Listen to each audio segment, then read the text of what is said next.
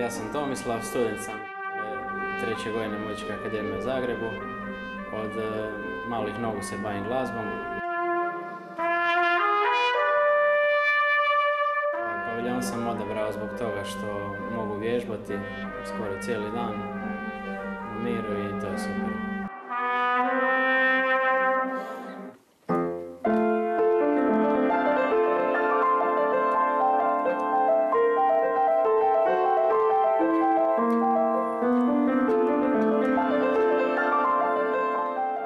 Pridijelila sam se odmah od prvog srednje za muzičku akademiju. Sad sam peta godina akademije u klasi profesora Jakše Zlatara, baš klavirist.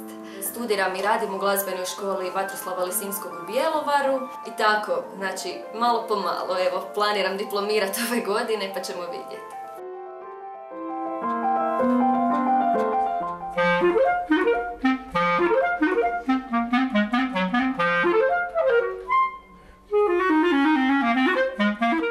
Ante Buturić iz Zadra, peta godina muzičke akademije, pa evo sviram već 13-14 godina klarinet.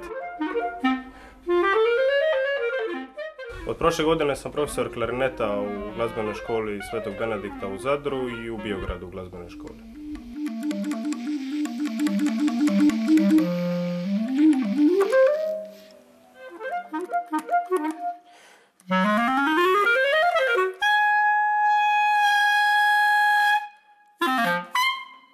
Ovdje nema znači nikakvih dogovora od kad se vježba, svi sviraju cijeli dan, cijelu noć i niko se ne buni. Pa često se dese i spontani i onda svako iznese svoj instrument na hodnik ili se skupimo u sobi i tako sviramo, odmah imamo i bend, u stvari dobre fešte.